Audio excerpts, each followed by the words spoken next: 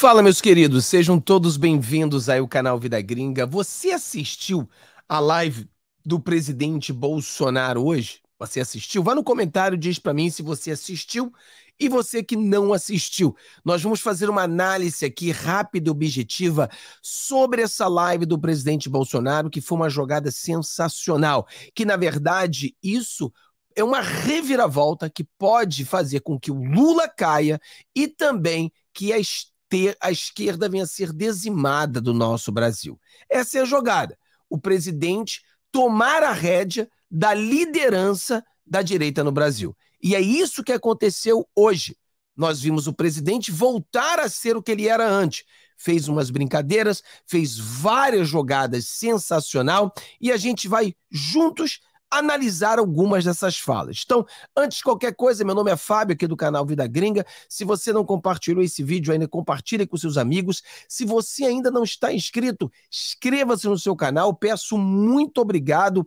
Muitas pessoas agora estão ficando até o final do vídeo.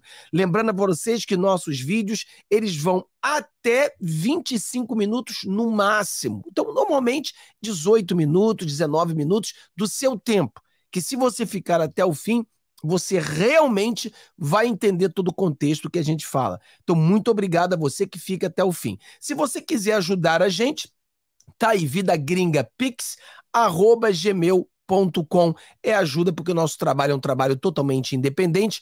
Cada um de vocês pode ajudar com qualquer valor para que você que aprecia esse trabalho que a gente está fazendo. Valeu? Então assista até o final. Todos os dias eu tenho perguntado: vocês têm assistido até o final? Muita gente tem colocado no comentário. Sim. Então, todo final agora eu vou fazer uma pergunta específica e só vai saber a pergunta quem fica até o final. Mas vamos fazer essa análise do presidente Bolsonaro. Então, a jogada era tirar o presidente do jogo, mas o presidente falou uma coisa interessante. Vamos começar com essa aqui que o presidente falou. Eu quero que você pense comigo. O presidente mandou essa aqui, peraí. Vou botar assim, tá melhor? Olha só, vamos lá. Não é justo aí. Ah. É, não é justo aí. Eu estou na UTI, eu não morri ainda. Alguém já querer dividir o meu espólio. Tá certo? Agora, o que, que eu vejo aqui, nomes nacional? Vamos parar aqui, né? O presidente falou: eu estou na UTI, mas eu não morri ainda, mas já tem pessoas querendo dividir os meus espólios. O que o presidente está falando com isso? O presidente está dizendo que o jogo ainda não terminou. Claro, como nós vemos falando, e muitas pessoas não gostam do que eu falo, porque eu sou uma pessoa realista. E eu, eu coloco para você a realidade. Você está no nosso canal, você nunca é enganado. Todas as coisas que têm acontecido, a gente tem previsto. Não é que a gente vê o futuro, só Deus sabe o futuro. Mas existe a questão da futurologia. Quando você, você analisa o que está acontecendo, você vai ver o resultado futuro. E é isso que acontece. E vocês não estão sendo pegos de surpresa, vocês estão sabendo o que está acontecendo. Agora, o presidente Bolsonaro, ele fala abertamente para todos nós que ele está na UTI. Ou seja, a situação dele é muito complicada, mas ainda tem chance. Ainda existe a possibilidade. Existem três anistias, existe. Se você não assistiu meu vídeo, ainda assista o vídeo que eu coloquei, o Bolsonaro volta, né? É, pode voltar à política, aonde eu fiz uma análise sobre de todas as coisas, todos os pauzinhos que pode mover. E o presidente Bolsonaro, sim, pode voltar à política brasileira, mas isso teria de acontecer várias coisas. Muitas pessoas que assistem dois minutos não entendem nada que eu falo, porque ah, o cara falou que Bolsonaro ia voltar e Bolsonaro não voltou. Ah, o cara falou que Lula ia cair, Lula não caiu. Porque o cara é imediatista, ele acha que a gente está falando que vai acontecer hoje sem que ninguém precise fazer nada. Não. O que a gente está fazendo são somas. São somas de coisas cada coisa que você faz, ela vai somando e aí você tem um resultado. Então, por exemplo, é uma peça de, de quebra-cabeça. Você tem que colocar todas as peças para que você veja a figura. Não sei se você já fez quebra-cabeça. Eu já tive quebra-cabeça assim de 10 mil peças, de mil peças. O negócio é louco. Cara, você começa a colocar, não dá para nem entender o que é aquilo ali. Mas conforme você vai montando as peças, montando as peças, montando as peças, montando as peças, daqui a pouco você vê uma figura. Você fala, oh, dá para entender agora. Isso aqui é um cachorro, isso aqui é um gato, isso aqui é um. Entendeu? Você começa a entender. E a jogada política, a ciência política é isso cada pecinha que você vai colocando, mais você consegue ver a, a, visão do que realmente é. E mais você tem as possibilidades de acontecer ou não. Se você não conseguir colocar todas as peças, o tabuleiro não se completa. Não acontece. A mesma coisa. Tem como o Lula cair? Tem, mas tem que colocar todas as peças para que ele caia. Tem como o Bolsonaro voltar ao poder? Tem, mas tem que botar todas as peças. Se tiver faltando uma peça, não completa o jogo. Isso é jogada. Mas o Bolsonaro fala claramente que ele está onde? Na UTI. Ou seja, ele não está morto. Não, não acabou. Ele não desistiu. E eu pergunto para você: você já desistiu do Bolsonaro? Vai no comentário, diz para mim se você já desistiu do Bolsonaro ou você vai segurar com o Bolsonaro firme e forte para sempre. Vai no comentário disso para mim. Vamos continuar aqui. Vamos continuar, Bolsonaro. Bolsonaro arrebentou, né? A gente vai falar muita coisa aqui sobre ele hoje. Vamos lá. É, não tem um nome ainda de um conhecimento do Brasil todo para fazer o que eu fiz ao longo desses quatro anos. Nós ajudamos a surgir certas lideranças. Você vê o Tarcísio São Paulo. Ele é, ele é fluminense, né? Carioca, na verdade, torcedor do Flamengo é, e governador de São Paulo. O Zema não se elegeu é, eu apoiando o Zema. O Zema teve o seu trabalho lá, um pouco o pessoal se voltou a ele contra o PT, dada onda contra o PT que surgiu. Aqui interessante, ele fala do, do Tarciso, flamenguista. Aí, galera, flamenguista, parabéns ao Tarciso, mais algo bom que o Tarciso tem. Aí ele fala do Zema, quer dizer, ele colocou o Tarcísio ali, mas ele não elegeu o Zema. Mas o Zema foi eleito pela rejeição levantada pelo Bolsonaro, ou seja, o Tarcísio foi eleito diretamente pelo Bolsonaro. O Zema foi reeleito indiretamente também com a ajuda do Bolsonaro. Entendeu a jogada? Isso que ele falou.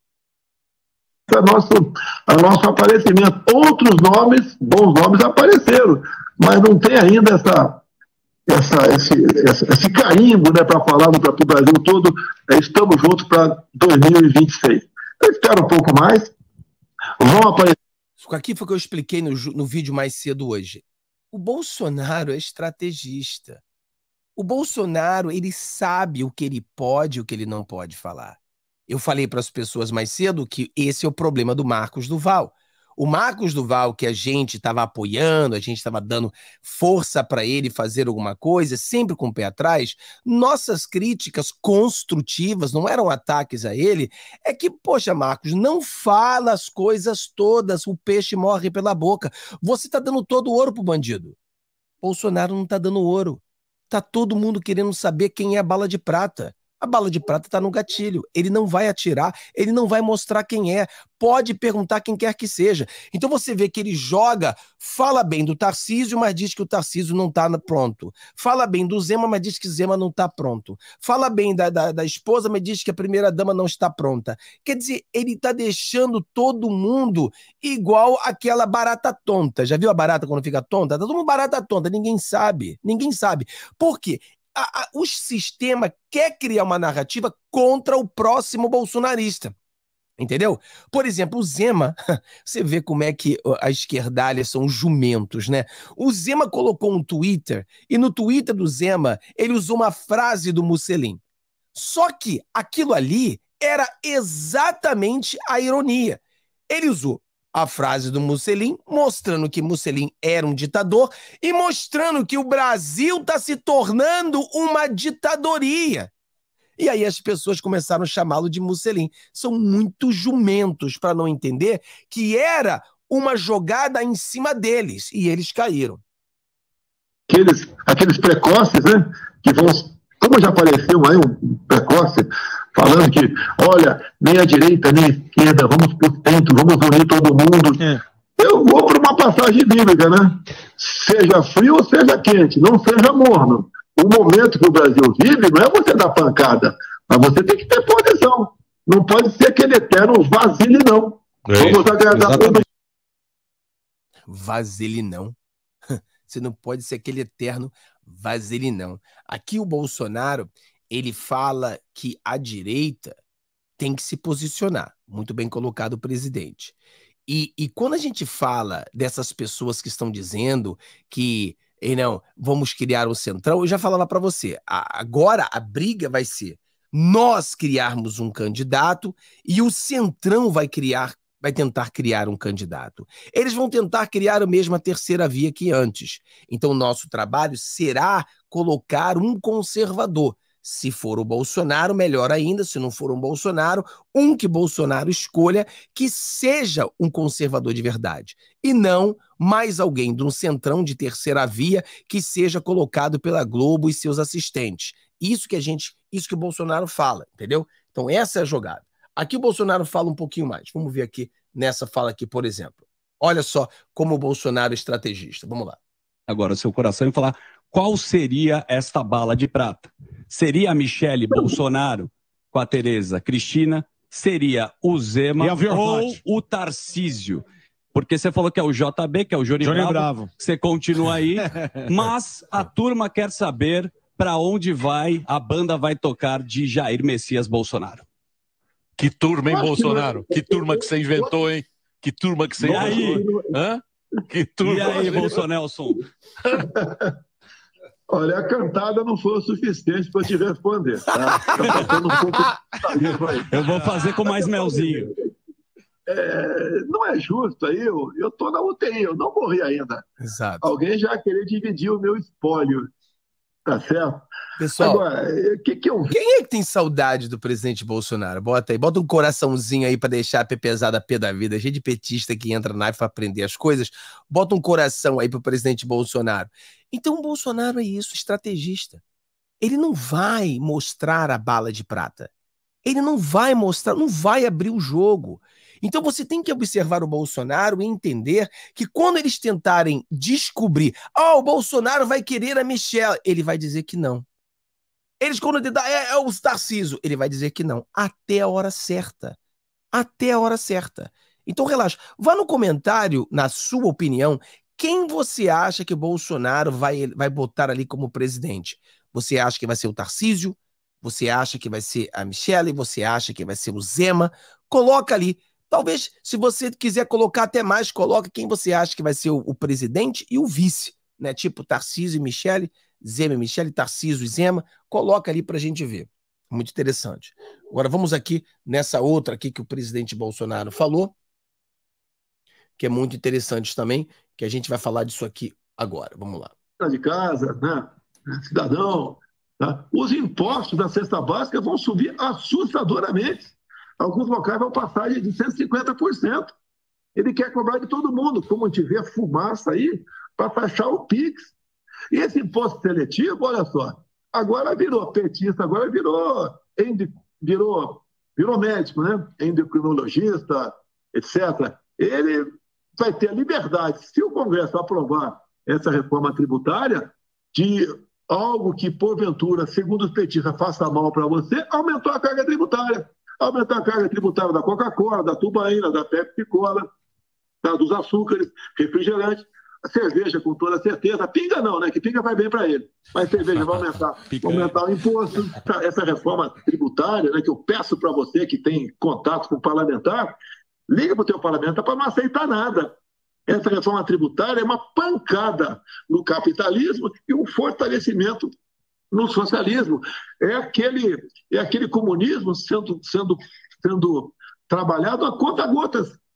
Tá? esse é um balde de água né, favorável ao socialismo no Brasil. E você sabe que o Lula não tem qualquer, qualquer simpatia é, com, com o capitalismo, né? Ele quer, muito menos com a democracia. Tanto é que, por ocasião das eleições, eu fui proibido de vincular a imagem do, do Lula com o nosso querido Daniel Ortega, lá da Nicarágua, que prende padres, que expulsa freiras, que faz barbaridade lá. Então, é. é. isso daí o povo, cada vez mais, vai acordando, a direita está unida. Quem aparecer falando que vamos unir a direita, pessoal, afasta esse cara. Esse cara é um isentão, é um vaselinão e está afim de, de ter um ganho político em cima de vocês, nada mais além disso. pessoal, aqui foi muito, muito importante que o Bolsonaro falou aqui. Que ele deu dois alertas para gente, né? Um, ele fala sobre essa questão da, do isentão aparecer aí, começar a falar aquilo que você gosta, tentar juntar todo mundo e aquelas coisas, né? Então você já fica de olho nessas pessoas.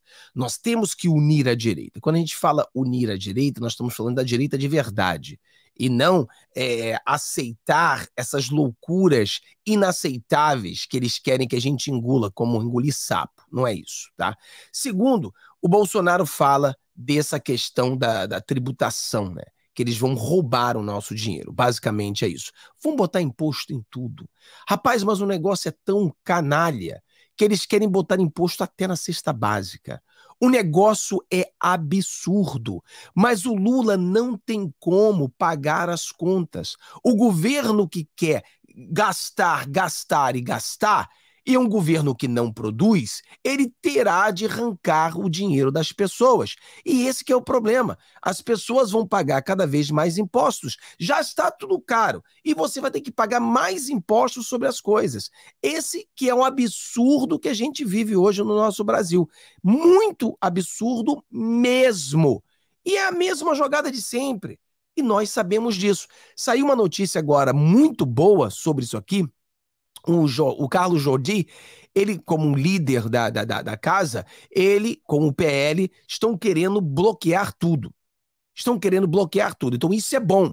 Ou seja, eles querem bloquear, vamos bloquear tudo, não deixa que nada passe. O problema é que esse tipo de imposto é aquele tipo de imposto que, agrada, que agrada aos globalistas também. E muitos ali na Câmara são os globalistas, como Lira, um globalista.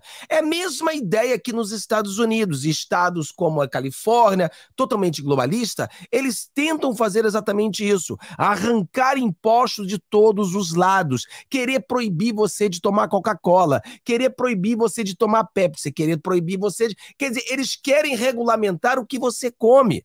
Cara, isso tem que ser decisão de cada pessoa. Por exemplo, eu decidi esse mês de não to tomar açúcar, comer açúcar, não comer pasta, não comer pão. Esse mês eu vou comer só salada durante o mês inteiro, só vegetais e frutas e coisas que sejam é, orgânicas ou coisas que sejam trigo, né? E coisas assim. Mas eu não. Então, por exemplo, é minha decisão. Cada um toma a decisão que quer tomar para a sua saúde, mas não é um governo que tem que obrigar a gente a tomar A, B ou C. Por exemplo, a direita, nós conservadores, não achamos que imposto é roubo nós achamos que o imposto tem que ser justo, tem que ser uma quantia justa. É claro que tem que haver essa quantia. Claro que tem que haver impostos. Como que a gente vai pagar pelos, pelos policiais? Como que a gente vai ter uma, uma saúde é grátis? Como que a gente vai ter colégios grátis sem pagar imposto se o governo não produz dinheiro? Então a gente precisa sim de pagar impostos, mas tem que ser algo justo. Tem, não precisa ser imposto em cesta básica. Tem que ser imposto em coisas que tem que ser, entendeu? Com um valor justo que todos pagam sem problema. Então as pessoas têm que entender isso, tem que ser coerente nesse aspecto. E falando de imposto, tem uma parte aqui que é muito ainda pior ainda, que o nosso Alexandre Garcia explica para gente também. Vamos ver o Alexandre Garcia agora que é outro grande. Para os seus filhos. Quem é aqui que você curte o Alexandre Garcia? Eu tenho um problema que às vezes eu esqueço, eu falo o nome errado de todo mundo, tá, pessoal? Eu, eu erro o nome de todo mundo, mas esquenta a cabeça isso não. Quem gosta? Quem é que gosta do Alexandre Garcia? Bota eu aí, Alexandre Garcia. Se você trabalhou a vida toda para deixar uma herança para os seus filhos, se passar essa reforma tributária, você vai deixar uma grande herança para o Estado brasileiro e um pouquinho lá, o resto para os seus filhos. A própria ministra do Planejamento, Simone Tebet, disse que para dar certo o arcabouço tem que ter mais 150 bi de arrecadação. Tradução: você, eu, nós todos vamos ter que pagar mais 150 bilhões de reais de impostos. Bom, prefeitos com pé atrás, governadores também, o, o Brasil é chamado de República Federativa do Brasil, mas ela vai ficar ainda mais república centralizada na União com essa reforma. Cada vez mais os prefeitos, governadores têm que ficar implorando dinheiro, porque a União vai continuar arrecadando a maior parte. Mas República Federativa, a, o, a maior arrecadação devia ir para os municípios, que é o prefeito que está lá, dando de cara com o seu munícipe todos os dias, que é cobrado mais de perto. Vamos ficar alerta para isso. Vamos ficar alerta para isso. Né? Já mandou um e-mail para o seu deputado? Já mandou? Já está apoiando o Carlos Jordi? Já está apoiando? Que bom, porque nós precisamos fazer isso, porque senão esse lixo vai passar e a gente vai ter que pagar as contas. Mas quem é que vai pagar a conta das viagens do Lula? Quem é que vai pagar as contas das cagadas que Lula está fazendo? Quem é que vai pagar as contas do Ministério Maior? Por exemplo, você viu que o, o, o, muitas pessoas foram empregadas, mas a grande maioria foram pessoas empregadas no setor público. Ou seja, é, é, as pessoas são empregadas no setor público, é uma, mais carga para a gente. Tem que aumentar mais os impostos para pagar as pessoas agora no setor público. Ou seja, o problema é muito sério, muito sério. Mas eu vejo que o presidente Bolsonaro ele está colocando as coisas no eixo. O presidente Bolsonaro está lidando, está liderando essa nação. Eu acredito que o Brasil vai vencer. Eu acredito que teremos resultados positivos. Eu acredito que coisas boas irão acontecer. Bolsonaro também falou sobre as eleições municipais, que a gente vai trabalhar forte para isso. Bolsonaro também foi perguntado sobre o Pix. Ele malandramente, espertamente, não disse a quantia que arrecadou, mas disse que, disse que foi o suficiente para pagar o que está sendo de, o que ele está devendo e sobrar algum dinheiro para umas cervejas. Ou seja, Bolsonaro foi sensacional. Sem contar que o Bolsonaro teve um pique de 311 mil pessoas assistindo ao vivo contra 6 mil do Lula já passou de mais de um milhão de visualizações, enquanto Lula não chegou nem perto disso. Então é claro que o povo quer o Bolsonaro e ninguém gosta do Lula. Isso são fatos. Ninguém gosta do Lula. A questão agora é até quando o Lula ficará no poder. Isso aí a gente está analisando todos os dias para mostrar para você quando será essa surpresa agradável que o Lula vai sair do poder. Tudo indica que o Lula vai, vai continuar até 2026. Mas a porcentagem que no começo do ano era de 1%, eu digo que hoje chega a 20%. Ou seja, Lula está caminhando cada vez mais para um abismo. Mas ainda não chegou a hora. Galera, se você assistiu a, o, o, vídeo até o final, diga para mim que você assistiu até o final, vá no comentário e coloca uma mão assim de rezando. Aí eu vou saber se você realmente assistiu até o final. Aquela mão fazendo uma oração. Bota lá no comentário, porque eu vou ver quem é que assistiu até o final, tá bom? Deus abençoe todos vocês, que vocês tenham um dia maravilhoso. O nosso próximo vídeo será amanhã, às 6 horas da manhã. Um abração, tchau, tchau. Te vejo amanhã às 6 da manhã. Um abração.